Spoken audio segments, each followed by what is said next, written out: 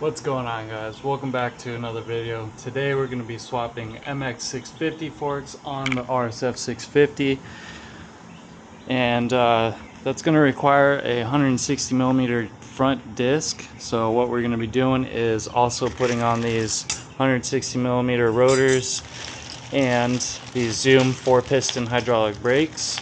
Uh, so we're just going to combine the two um, so it should be pretty simple. Uh, so you can see I got basic hand tools here.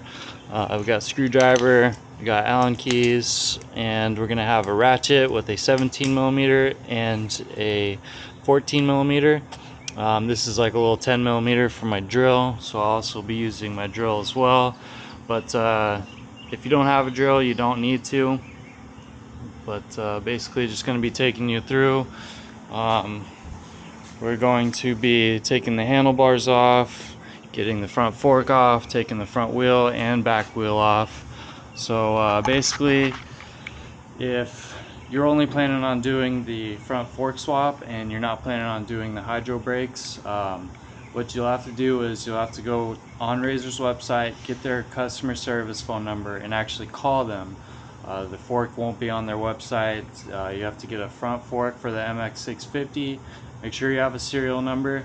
Um, if you don't have a serial number, join the Facebook group Modified Razors or Modified Razors for Adults. And they have a pin post on the top of the page that shows you all the serial numbers for a whole bunch of different bikes. Uh, great group of guys, awesome, super helpful. So check them out. Uh, also, wanted to give a shout out to Gerardo Salas um, for the brakes. They're about $105, something like that, uh, maybe a little bit more for shipping. Um, I'll put a, a link for his website down in the description, so if you want to get some yourself, you can check them out. But uh, yeah, so basically uh, what I was trying to get at is if you only want to do the front fork, um, so you'll have to get the front fork, you'll have to get an MX650 axle with the spacers in it, and then you'll have to get a 160 millimeter rotor uh, from Razor if you want to keep the stock brakes.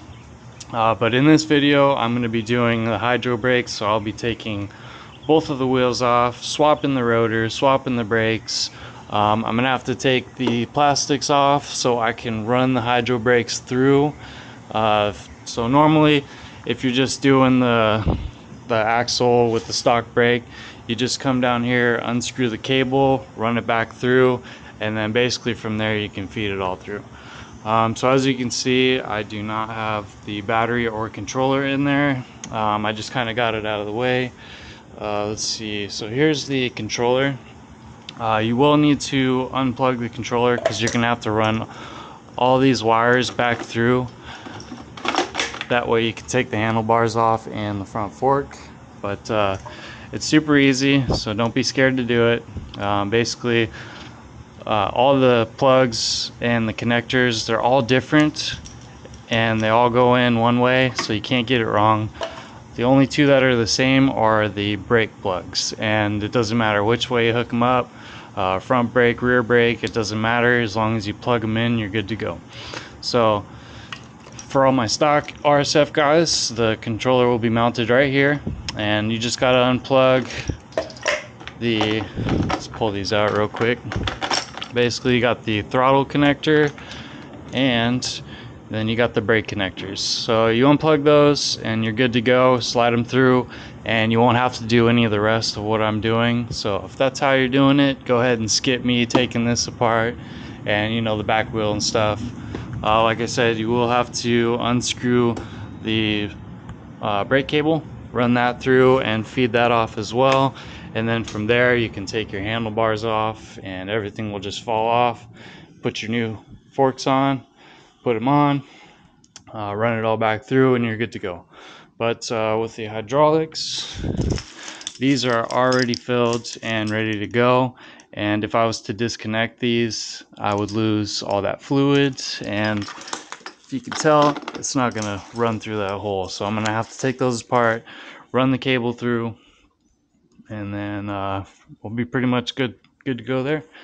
So let me set you up on my head and uh, I'll pretty much just run you through everything I'm doing. It's all gonna be super simple. And let's get it started. Alright guys, let's get this started. So first things first, I'm going to take my 6 mil Allen key and I'm going to unscrew the handlebars. Try to do this nice and evenly. Unfortunately, I don't have this piece for my drill, which is a bummer, but it's not a big deal. Take the faceplate off real quick, real easy. I just broke it. Won't be needing that though with the uh, new forks. It does not fit in since the MX fork doesn't have this little bar welded across it. But nothing a little couple little zip ties can't handle. Alright, now that we have the forks off, we're going to set our parts into a nice neat little pile over there. Um, then what I'm going to have to do is come down to the back brake and loosen up the cable. That way we can get the cable out. That way we can slide the cable through.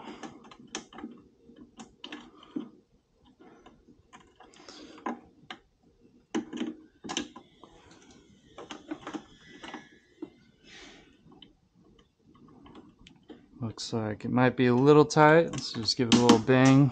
Should be good to go. Go all the way through the loop right there, and then up and out. And then we got all of our cables already disconnected and ran through. And let's go to our front brake. Same thing. Loosen it up, nice and loose. Get it through. We got both of our brake cables disconnected and our handlebars are 100% off. Um, once I put these back on and get the fork set up, um, then I'll do the hydro brakes afterwards. But for now, if you're just trying to do the fork swap and the uh, rotor swap to keep the stock brakes, um, we'll just keep that at the beginning of the video. Alright, so next we're going to want to take our Looks like it's gonna be our 17. Yep. All right, so we're gonna take our 17. Actually, you know what? First things first, let's get this front wheel off. So, we got our 14 on one side just to hold, and our 17 on the other side. Take that bolt out Get the axle out. And you're gonna have your spacers drop down, so watch out for those.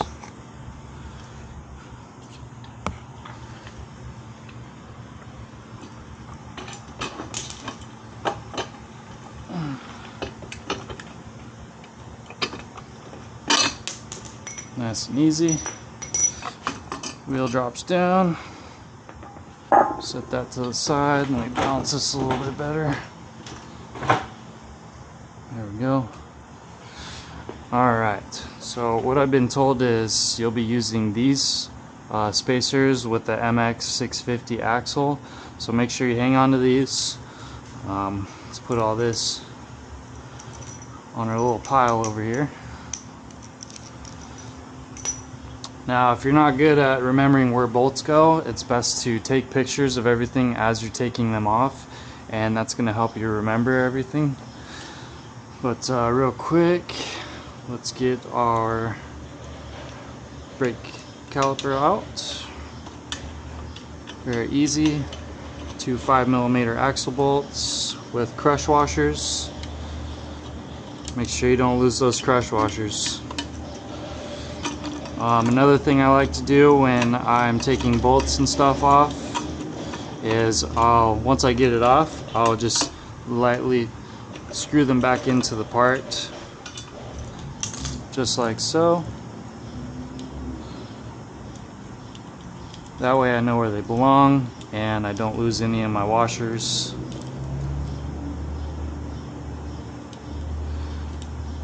And now we can set that aside for later. Cool deal. Um, so the fender not worried about it. Just a couple Phillips screws on each side. Um, the new MX axles do not have these mounts tacked into them because this is going to be the spring shock. Uh, so we won't be using the fender for now at least. Uh, eventually I'll figure out a way to mount it up. Um, I might even use the spare uh, Sierra 50 fender that I had and just throw it up on top. We'll see how it looks. Alright, so now that we're good on that, let's get the top loosened up. Get these out. Oop, of course both of them splattered everywhere. Uh, so if that does happen to you, just make sure you have everything. And then always remember the crush washer goes first and then the normal washer goes second.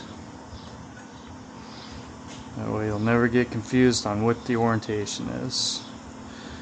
Again, take our parts, put them in our little pile here.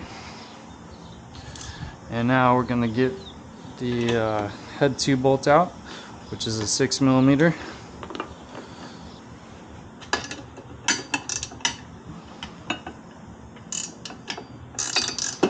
Alright guys, got my 17 millimeter ratcheting wrench and going to slowly take it off.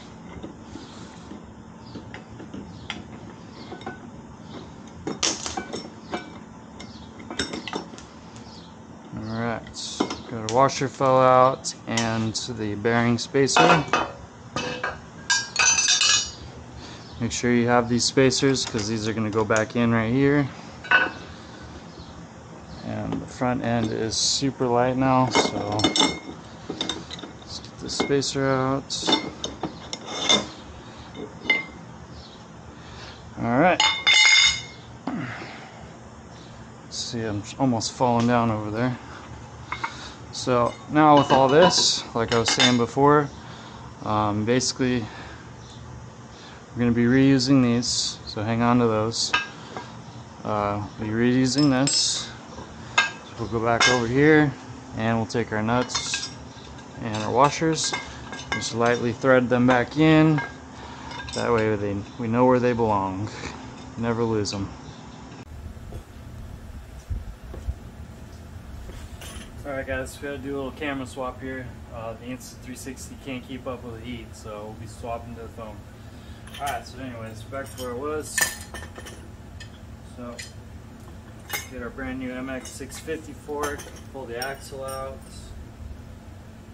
It is shorter than the MX650, so we will be using the MX650, excuse me, the RSF 650 head tube bolt.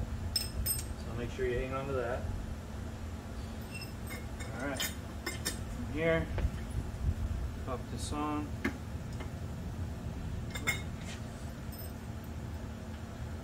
forgot, gotta get our bolts piston in there. Get it on up in here. Got our washer, washer on the bolts. Drop that down. And we are all the way through. So now holding that, grab our other washer, put it on there first, and then grab our bolt, excuse me, our lock nut. Put the lock nut on there nice and snug. And there, grab our wrench and our six mil, hold that down.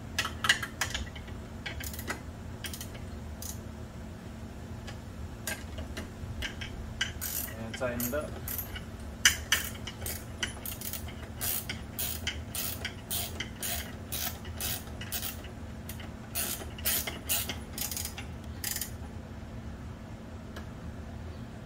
Nice and snug, don't want it too tight, tight enough to where the lock nut will hold on to it and it won't come out.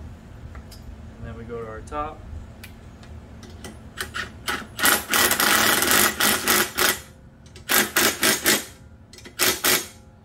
Tighten those down.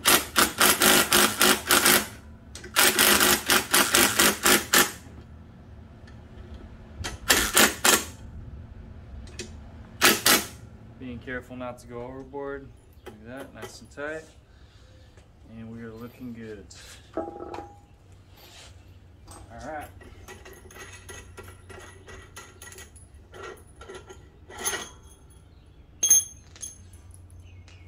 Now before we go too far, I want to swap this front rotor out real quick, so let's go ahead and do that. So the Allen bolts on the brake rotor are going to be 4 millimeter. So swap out my bit on my drill for a 4 millimeter. Now if you're using your drill, be very careful not to go too crazy. And super simple, you're gonna swap it out. There is an arrow on these pointing in the direction. So once you get your tire up, you wanna make sure it's that rotation is pointing forward. Slap this back on. Um, and one more important thing, if you are using a drill, make sure you thread these by hand first. Because if you go wild and just try to go like this with the drill, chances are you're gonna strip it out and then you're gonna ruin the, the whole wheel. Um, you know, there's a good chance you could save it with a tap and die if you know how to use a tap. Uh, but your best bet is to not risk it. Get them started by hand. And then you can tack them down with your drill. It's going to save you a whole lot of headache. Cool. So now everything's tightened, finger threaded. Take our drill. And we're going to go in a cross pattern.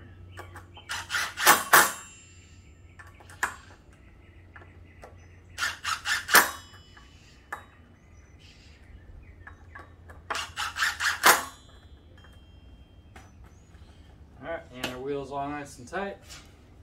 Spin that around. And let's figure out what spacers we're gonna need. So by the looks of it, we'll be using our RSF spacers. So grab our spacers from RSF and then we got our MX650 axle bolt.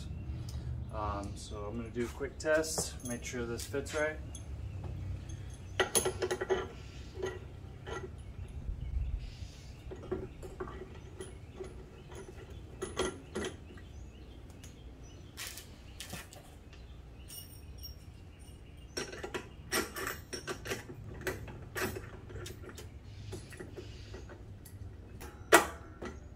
Alright, and we are all the way through. And again, take our washer and take our lock nut. Spin that on real quick.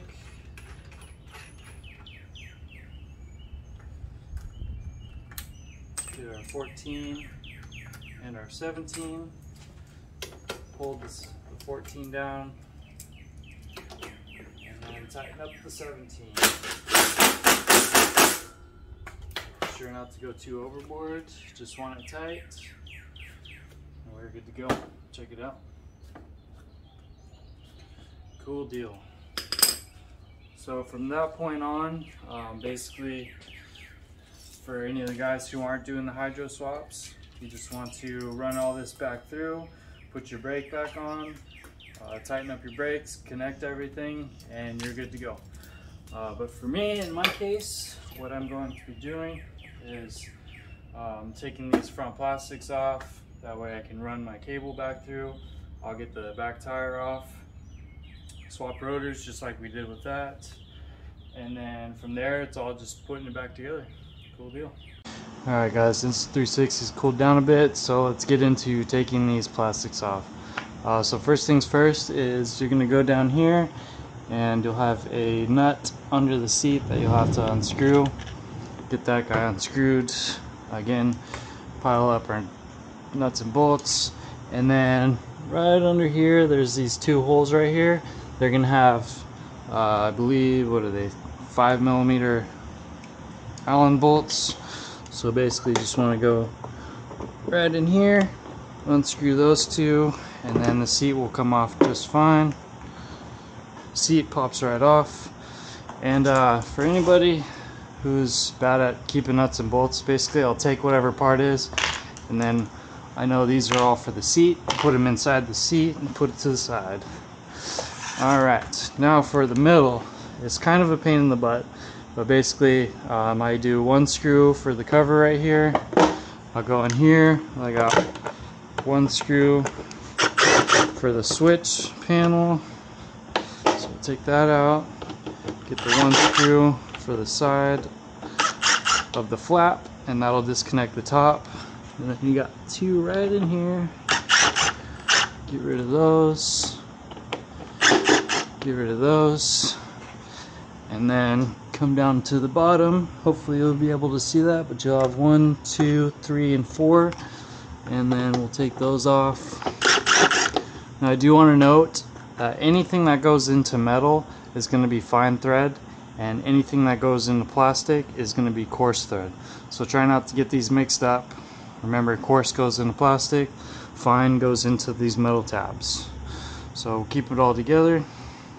Um, and just kind of remember like these two long ones, this one's going to go to the side, this one to the washer is going to go to that switch panel. So get all these taken out.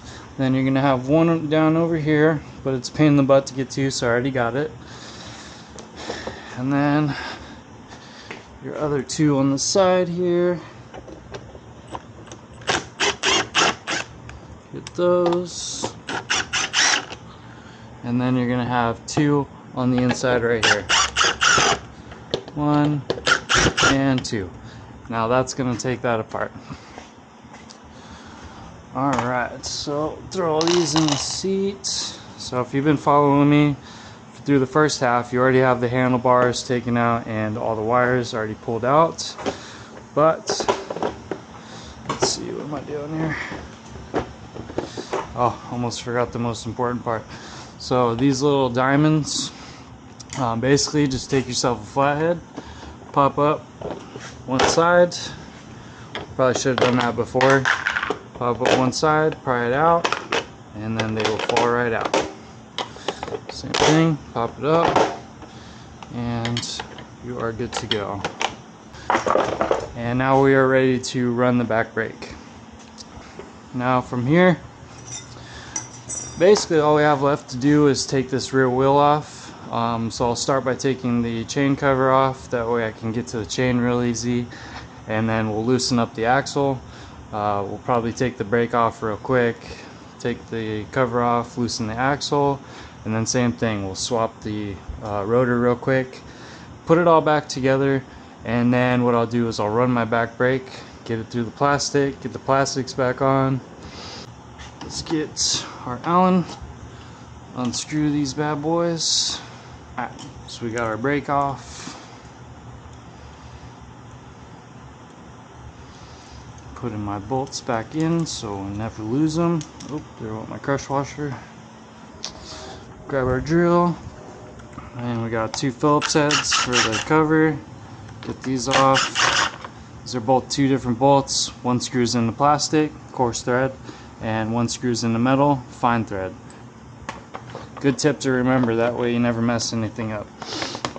Alright, and then from here, gotta figure out how to pull it out pull it out through the front, flip it over, put my two screws right in there, and then from there I have access to my chain, which is going to be nice. Uh, basically I'll just pull this down, and then I'll get the wheel loose, and then I'll wrap, unwrap the chain. So let's get the wheel off real quick. Got our 17 for our bolt end, and then our 14 for the axle ends. So 14 on, 17, let's take it off.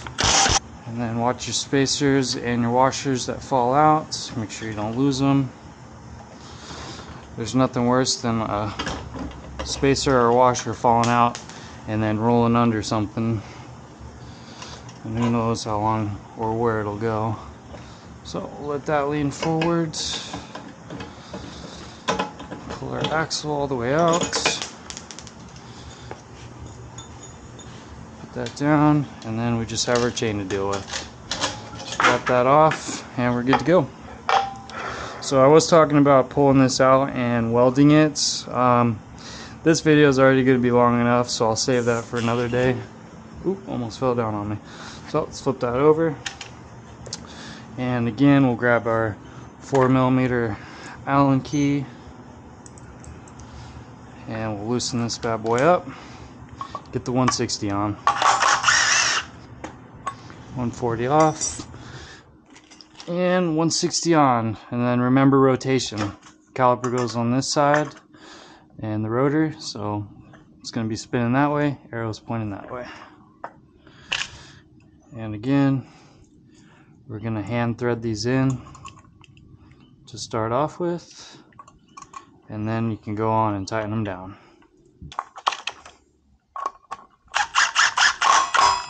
all right and our rotor's on. All right guys now the tricky part. Take our axle put it in and get your spacer on. Put the wheel up. Make sure the uh, bearing spacer is nice and straight in. Axle through. Get it just about to where it pokes out on the other side there. And we take our spacer put it on through And then feed the bolt all the way back through. Oh, almost forgot one thing, guys. Disregard, disregard. Make sure you get your chain on first.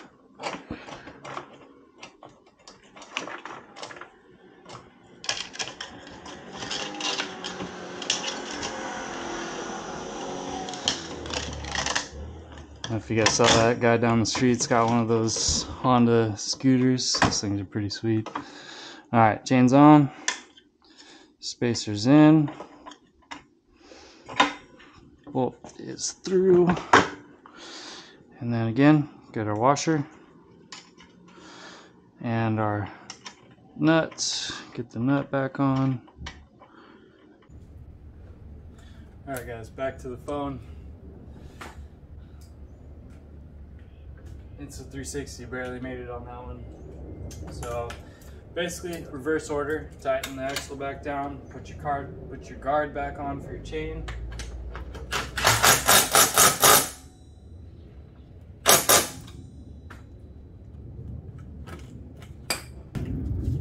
Spinning free, good to go. All right, and now we're gonna run the brakes.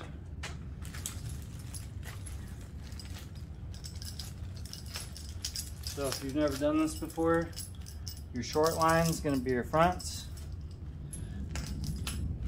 And your long line is going to be your rear. And now we'll get our 5 mil Allen key and screw them in.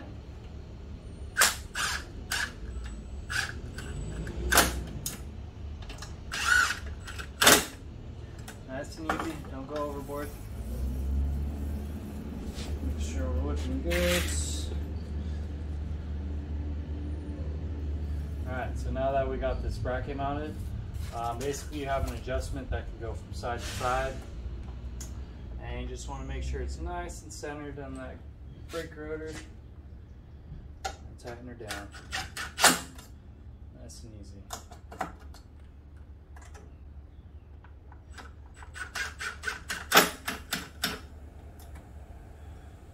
Go too crazy. Make sure it spins.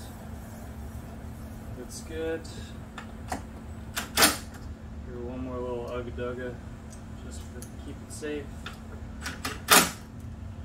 Alright, back brake is on there nice and solid. I think what I'll do is put it under here. Up through the motor.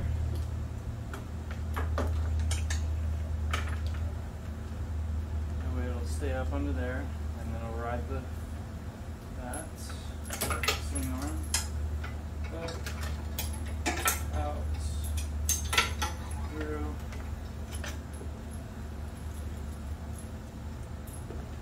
And now we have rear brakes. So I'll let that hang for now. And since we got the front brake on, that's all we needed to worry about for the plastics. We'll go ahead and put the plastics back on, be done with that. And then basically from there, we'll just put our uh, handlebars back on and we'll swap the grips out and the uh, put the new brake levers on and that should pretty much do it. Alright guys, so doing the plastics is probably the hardest part.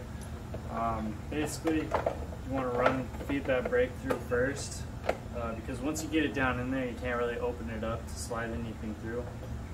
Uh, make sure your wires are coming through and your brake line is going up and out. From there, clamp it back together, drop it in, make sure everything's solid, good to go. And then from there, just screw everything back in, pop your little triangles back in. They only go in one way, so it's pretty easy. Um, so I'm gonna go ahead and do that real quick, get my seat back on, and then I'll bring I'll be right back. All right, guys. As you can see, we're 100% back together. Got our rear wheel on and our front wheel on, and um, like I was saying, the front plate and the fender will no longer fit. Uh, we'll have to do some cosmetic work to this on another video. But uh, I just want to throw in here real quick.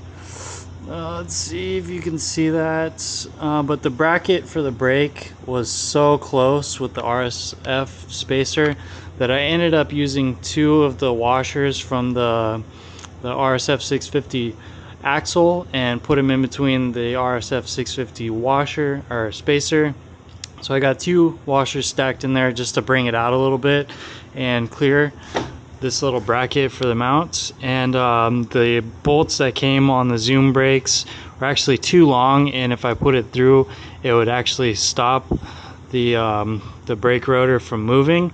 So what I ended up doing was taking the Allen bolt out of the stock brake and using it for this and it ends up fitting just perfect. Um, so this is good. As you can see, I had to zip tie these up to keep it from hitting the wheel because that is super close. So I just zip tied them up, got them all mounted. Um, and if you know, if you're a subscriber, I'm still rocking the 48 volt. Still working like a dream. Brakes working great. Stopping on a dime but yeah, that's pretty much it. You see I got the brakes left over, the fork, both calipers, both rotors. Um, I have the, uh, what is it, the RSF, or no, this is the MX um, head bolt and the RSF 650 axle bolt. So that's all that you should have left. No more bolts and screws. All that should be put back on here.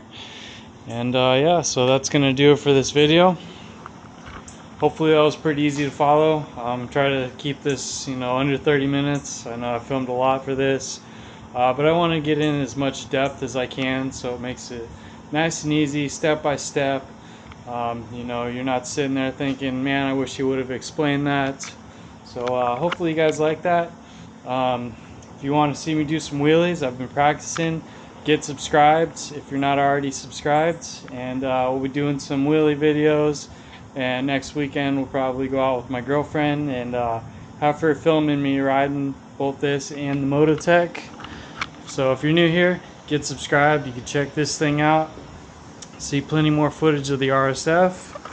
But uh, that's going to do it for this one. Until next time. Peace.